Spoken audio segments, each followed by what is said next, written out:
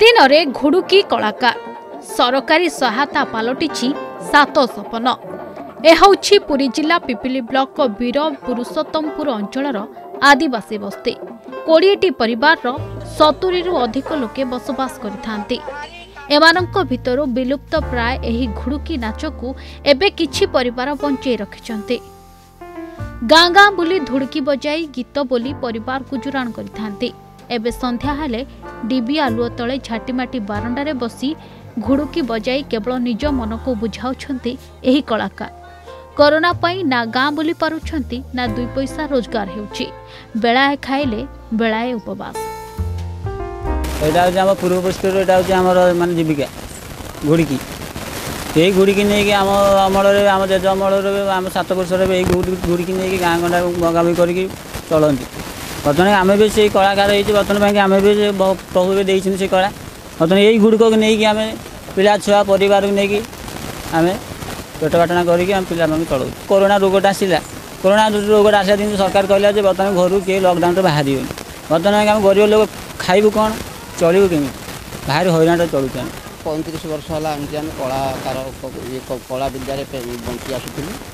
ଦ୍ୱିତୀୟତଃ କଳା ବିଦ୍ୟାରେ ବଞ୍ଚି ଆସୁଥିଲୁ ସତ ହେଲେ ବର୍ତ୍ତମାନ ଏଇ ଯେଉଁ କରୋନା ଭୟରେ ପଇଁତିରିଶ ବର୍ଷର କଳାକାର ଆମେ ଆଜ୍ଞା ସେ ଏଇ ଯାନି ଯାତ୍ରାକୁ ନେଇକି ଆମେ ବଞ୍ଚି ଆସୁଥିଲୁ ଦୁଇ ପଇସା ଆମକୁ ମିଳେ ସେଠି ଯେ ବର୍ତ୍ତମାନ ଏ କରୋନା ଭୟରେ ଆମେ କୌଣସି ଗ୍ରାମକୁ ଯାଇପାରୁନୁ କୌଣସି ସବୁ ଯାନି ଯାତ୍ରା ଆଜ୍ଞା ସବୁଠାରେ ବନ୍ଦ ବାନ୍ଦ ତେଣୁକରି କ'ଣ କରିବା ଆଜ୍ଞା ଯେଉଁ କାମ ଆମେ ନ କରି ନ କରିବା କଥା ସେଇ କାମ ଆମେ କରିବା ପାଇଁ ବାଧ୍ୟ ହେଉଛୁ ରୋଜଗାର ନଥିବାରୁ ଅନେକ କୌଳିକ ବୃତ୍ତିରୁ ମୁହଁ ଫେରାଇବା ଆରମ୍ଭ କରିସାରିଲେଣି। ନା ଏମାନଙ୍କ ପ୍ରତି ଅଛି ସରକାରଙ୍କ ଦୃଷ୍ଟି ନା ଅଛି ପ୍ରଶାସନିକ ସହାୟତା। ସମସ୍ତ ପ୍ରକାର ସରକାରୀ ସୁବିଧାରୁ ବଞ୍ଚିତ ଏହି ଆଦିବାସୀ ପରିବାର ତେବେ ପ୍ରଶାସନ କିଛି ସହଯୋଗ କରିବାକୁ ସେମାନେ ଆକୁଳ ନିବେଦନ କରୁଛନ୍ତି। ବରମାନେ ଯାଉଛନ୍ତି ଗିରସ୍ତମାନେ ଯାଉଛନ୍ତି ଗୁଡ଼କି ବଜାଉଛନ୍ତି।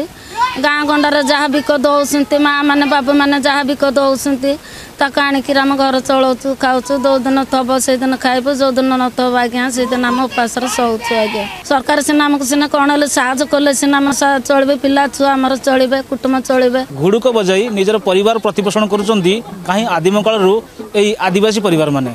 ପୁରୀ ଜିଲ୍ଲା ପିପିଲି ବ୍ଲକ ପିପୁରସ୍ତମ୍ଭର ପଞ୍ଚାୟତର ଏହି ଆଦିମ ଆଦିବାସୀ ପରିବାରମାନେ ଏଠି ବସବାସ କରୁଛନ୍ତି ଏ କରୋନା କରୋନା ସମୟରେ ସେମାନଙ୍କ ଜୀବିକା ଉପରେ ଘୋର ପ୍ରଭାବ ପଡ଼ିଛି ଯାହାକି ସେମାନେ ଗାଁ ଗଣ୍ଡାକୁ ଯାଇପାରୁନାହାନ୍ତି ଏବେ ବର୍ତ୍ତମାନ ତାଙ୍କ ପରିବାର ଦୁର୍ଦ୍ଦିନରେ ସରକାରଙ୍କର ବିଭିନ୍ନ ଯୋଜନା ରହିଛି ସେମାନଙ୍କୁ କଳାକାର ଭତ୍ତା ଏପର୍ଯ୍ୟନ୍ତ ମିଳିପାରି ନାହିଁ।